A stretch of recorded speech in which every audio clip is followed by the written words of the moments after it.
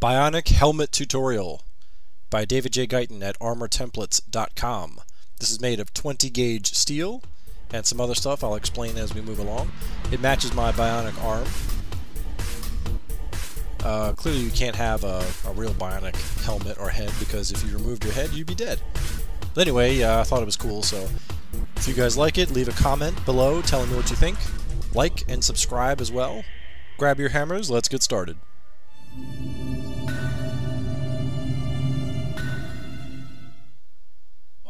Get your template by clicking under the video or in the video, or going directly to armortemplates.com.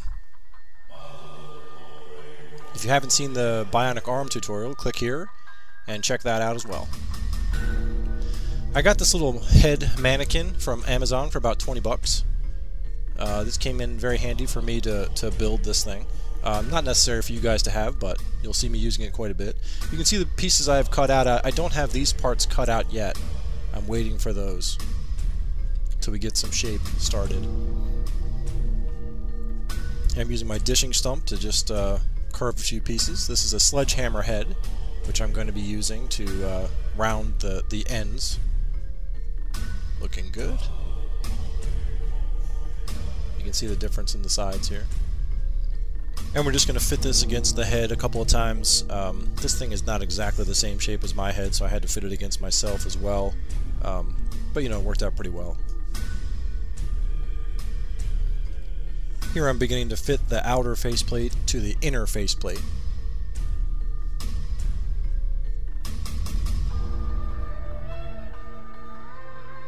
Here I've got a masonry chisel in a vise, just so I can do a little bit more uh, detail work on the edges here. Here I've got a hammer in a vise to do some more detail work. By the way, next week on Friday I'll have another video coming out, this time a different faceplate to fit this helmet. I'll also have a template available with 10 different faceplates for this helmet. Using a Dremel tool with a cutout wheel, I'm cutting out all the parts I waited for, now that the face is shaped.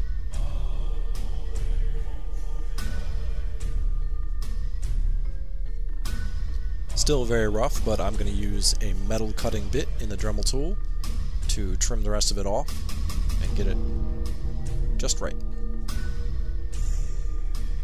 Takes a while, but it works fine. Make sure to uh, file the edges. You don't want any sharp stuff next to your skin. I rounded the top and the bottom of this thing, as you can see.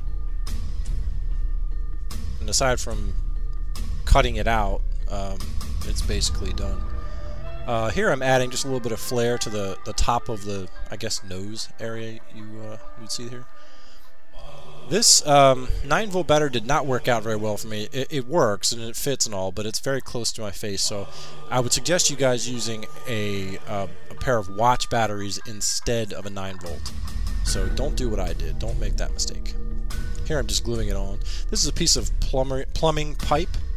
Uh, I've just cut it down and spray painted it black. And this is uh, just to make this little optional piece on the side. But if you want to breathe in space, you need this thing. So be sure to put that on. Here I'm doing the dishing for the helmet tops. Um, you've seen me do this a million times. Uh, well, maybe not a million times, a couple times.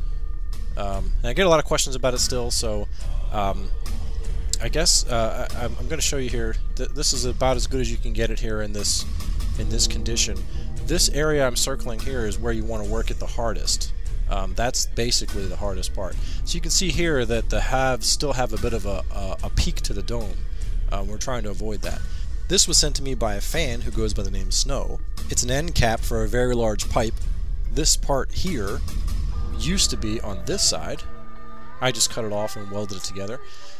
So anyway, thanks Snow for this thing. You've made my life so much easier.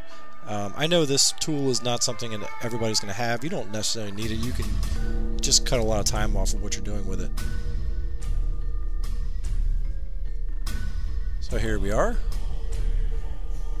And just with a couple of taps you can see that it's already coming out uh, pretty good. I'll, I'll, flip this thing over in a second. You can see what, what what's happened to it. And it makes it so that it's an exact uh, half of a sphere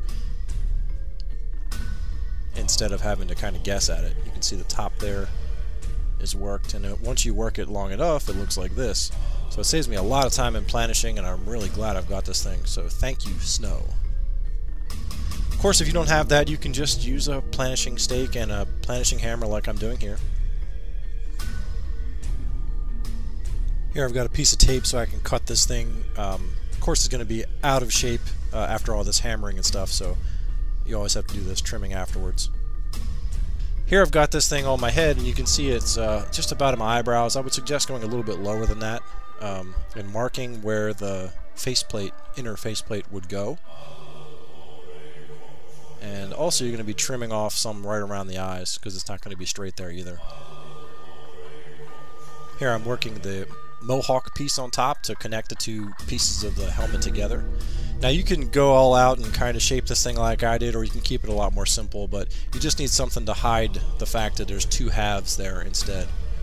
Here I've got some holes marked and I'm just holding the helmet together with tape and drilling the holes and then using roofing nails to rivet the thing together one nail at a time.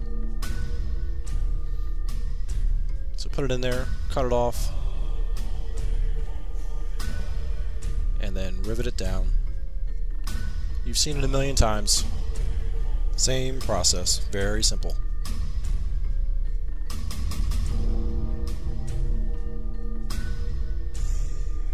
Here's the helmet top finished. Looking good. Now I'm riveting on the inner faceplate. Just a couple of rivets over top of the ear this is what I have on the inside. A lot of guys have asked um, what I use for the inside of helmets, and just a piece of foam um, glued inside of it. And on the inside of the mesh, I used uh, fleece instead, so you can hear through the helmet. I just used this uh, spray adhesive to glue it in. You can cut it off afterwards to make it very neat. Here I've got some aluminum mesh, like I did for the for the bionic arm, and I'm going to be gluing that into and I got um, foam all around, glued all around wherever it would touch your face or head. Now I've got a, uh, it's not a hair dryer, it's um, a heat gun.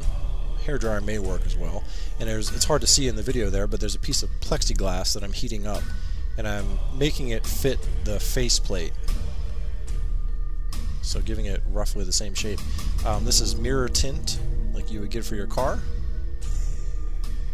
and I'm going to apply it to the back of the lens. You could also use a soap and water solution if you want perfect results. And this is bridal veil. It's uh, you can get it for a couple of bucks on Amazon. And I'm just hot gluing it to the uh, all the way around this. This basically catches and uh, disperses the light of the eyes. So this is uh, I'm hot gluing in the the light, the LEDs here now.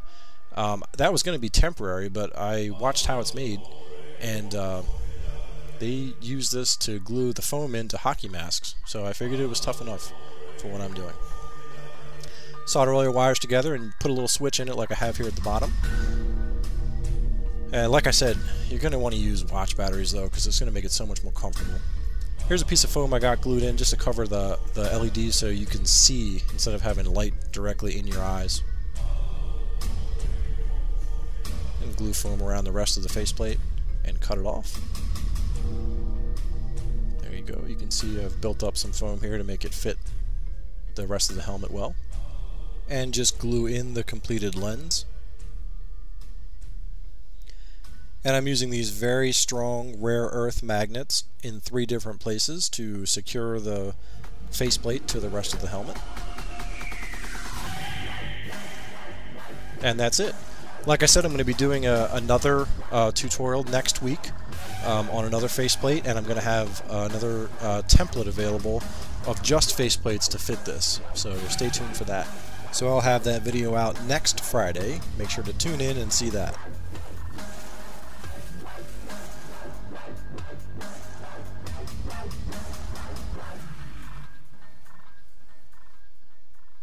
Find me on Facebook, facebook.com slash armortemplates give the page a like. I always have contests and cool stuff going on over there, so come check it out.